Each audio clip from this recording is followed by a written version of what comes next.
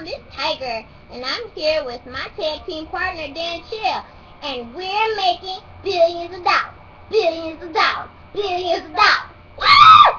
It's called, what are you doing? Did I have to warn you about... I'm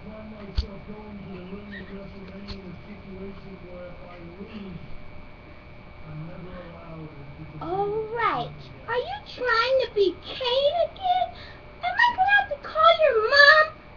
Oh my god. Anyway, we are here watching Triple H. Let me get a little bit further over.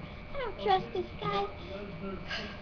Anyway, Triple H and Brock Lesnar did happen last week. We're watching that. And I must say that Triple H is definitely up against a real brawler here, guys.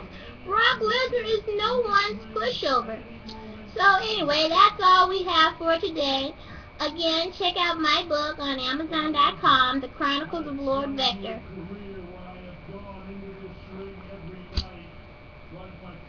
Oh my god.